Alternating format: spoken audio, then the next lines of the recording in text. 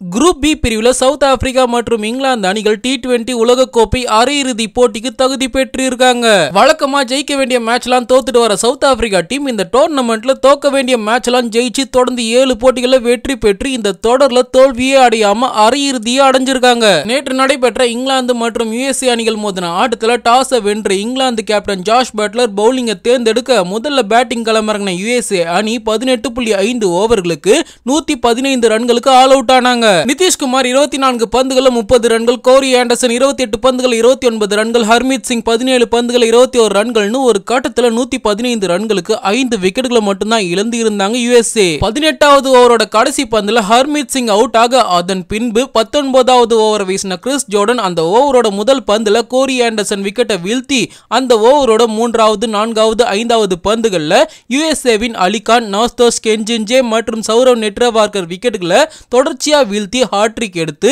அந்த ஓவர்லயே நான்கு விக்கெட்டுகளை வீழ்த்தி அமர்க்கலப்படுத்தி இருந்தாரு பதினெட்டு புள்ளி ஐந்து ஓவர்களை நூத்தி பதினாறு ரன்களை சேஸ் செய்தால் நெட் ரன் ரேட் அடிப்படையில் இங்கிலாந்து அணி அரையிறுதிக்கு தகுதி பெறுவாங்க. ஆனா அதுல பாதி வெறும் ஒன்பது புள்ளி நான்கு ஓவர்கள்லயே அந்த ரன்களை சேஸ் செய்து இந்த ஆட்டத்துல வெற்றி பெற்றாங்க இங்கிலாந்து. அதுவும் ஒரு விக்கெட் கூட இழக்காம. யுஎஸ்ஏ அணியின் ஹர்மித் சிங் வீசின ஒன்பதாவது ஓவர்ல தொடர்ந்து ஐந்து சிக்ஸர்கள் விளாசி ஐந்து பந்துகள்ல முப்பது ரன்கள் சேர்த்தாரு இங்கிலாந்து அணி கேப்டன் ஜாஷ் பட்லர். அவரு இந்த மேட்ச்ல முப்பத்தி எட்டு பந்துகள்ல எண்பத்தி மூன்று ரன்கள் விளாசி இருந்தாரு அதுல ஏழு சிக்ஸும் ஆறு போரும் அடங்கும். இந்த வெற்றியின் மூலம் நடப்பு டி டுவெண்டி உலகக்கோப்பை தொடர்ல முதல் அணியா அரையிறுதிக்கு தகுதி பெற்றாங்க இங்கிலாந்து. கடைசி நான்கு டி டுவெண்டி உலகக்கோப்பை தொடர்கள்லயும் அரையிறுதிக்கு தகுதி பெற்று அசத்தி இருக்கிறாங்க இங்கிலாந்து.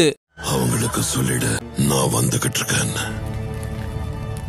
என்னோட கத்திக்காகவும் என்னோட கேஜிஎஃப்காகவும் இன்னைக்கு நடந்த மேட்ச்ல வெஸ்ட் இண்டீஸ் மற்றும் தென்னாப்பிரிக்கா அணிகள் மோதினாங்க. சவுத் ஆப்பிரிக்கா சூப்பர் எயிட் சுற்றுல இரண்டு மேட்ச்ல ஜெயிச்சு இருந்தாலும் யுஎஸ்ஏ உடனான போட்டியில வெஸ்ட் இண்டீஸ் மிகப்பெரிய வெற்றியை பெற்று நெட் ரன் ரேட்ல தென்னாப்பிரிக்கா அணியை விட கூடுதலா இருப்பதால இந்த மேட்ச்ல ஜெயிக்கிற அணி தான் அரையிறுதிக்கு போகும். இந்த மேட்ச்ல தென்னாப்பிரிக்கா டாஸை ஜெயிச்சு முதல்ல பவுலிங் செய்தாங்க. முதல்ல பேட்டிங் செய்த வெஸ்ட் இண்டீஸ் அணியில ராஸ்டன் சேஸ் போராடி நாற்பத்தி இரண்டு பந்துகள்ல ஐம்பத்தி இரண்டு ரன்கள் எடுக்க கெயில் மேயஸ் முப்பத்தி நான்கு பந்துகள் எடுத்த முப்பத்தி ஐந்து ரன்களோட சேர்த்து இருபது ஓவர் ஓவர்கள்ல எட்டு விக்கெட் இழப்பிற்கு நூத்தி முப்பத்தி ஐந்து ரன்கள் தான் எடுத்தாங்க வெஸ்ட் இண்டீஸ் தென்னாப்பிரிக்கா அணில ஷாம்சி சிறப்பா பவுலிங் செய்து இருபத்தி ஏழு ரன்களை விட்டு கொடுத்து மூன்று விக்கெட்டுகளை வீழ்த்தி இருந்தார் நூத்தி முப்பத்தி ஆறு ரன்களை சேஸ் செய்ய களமிறங்கின தென்னாப்பிரிக்கா அணில Reeza Hendricks golden duck out ஆகி அதிர்ச்சி அளிக்க குவிண்டன் டிகாக் பனிரெண்டு ரன்கள்ல வெளியேறினாரு.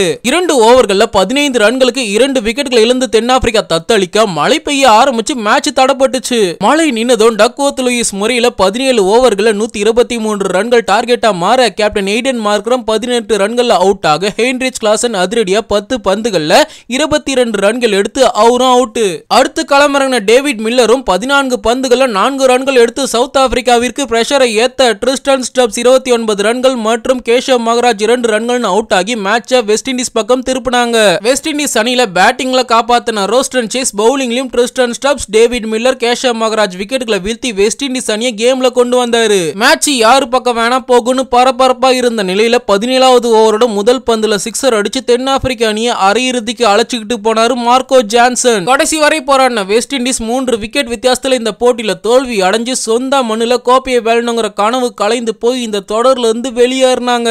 தென்னாப்பிரிக்கா குரூப் பி பிரிவுல முதல் இடத்தை பிடிச்சு செமிஃபைனலுக்கு தகுதி பெற்று இருக்காங்க குரூப் ஏ பிரிவுல இந்தியா ஆஸ்திரேலியா ஆப்கானிஸ்தான் பங்களாதேஷ் அணிகள் இன்னும் செமிஃபைனல் ரேஸ்ல இருக்காங்க இன்னைக்கு நடக்கவிருக்கிற இந்தியா வேர்சஸ் ஆஸ்திரேலியா மேட்ச்ல இந்தியா ஜெயிச்சா இந்தியா செமிஃபைனலுக்கு தகுதி பெறுவாங்க.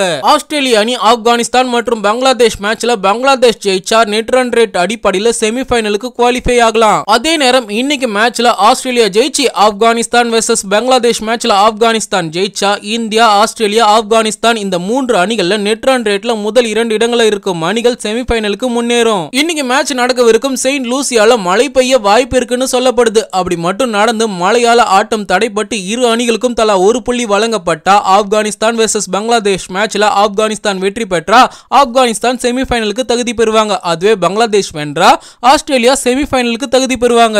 அதே போல இன்னைக்கு மேட்ச்ல இந்தியா ஜெயிச்சு நாளைக்கு மேட்ச்ல பங்களாதேஷ் மிகப்பெரிய வெற்றியை பெற்றா பங்களாதேஷ் செமிஃபைனலுக்கு தகுதி பெறவும் வாய்ப்பு இருக்கு. சோ இந்த இரண்டு மேட்ச்ல ஏகப்பட்ட பாசிபிலிட்டிஸ் இருக்கு How many did you see? 14,605. நீங்க இந்த ரெண்டு மேட்ச்ல எந்த டீம்ஸ் ஜெயிப்பாங்கன்ட்டு கமெண்ட்ல சொல்லுங்க நான் இந்தியா மற்றும் ஆப்கானிஸ்தான் ஜெயிப்பாங்கன்னு நம்புறேன் என்ன நடக்குதுன்னு நாம பொறுத்திருந்து பார்ப்போம் எனக்கு நேற்று டென்டல் ட்ரீட்மெண்ட் நடந்ததால் என்னால் கொஞ்சம் வாயை அசைச்சு பேச முடியல மக்களே. ஸோ அதனால வீடியோ கொஞ்சம் அப்படி இப்படின்னு தான் இருந்திருக்கும். அதுக்கு என்ன மன்னிச்சுக்கோங்க. நான் உங்களை இன்னைக்கு இந்தியா வேர்சஸ் ஆஸ்திரேலியா மேட்ச் முடிஞ்சதும் மீண்டும் வந்து சந்திக்கிறேன்.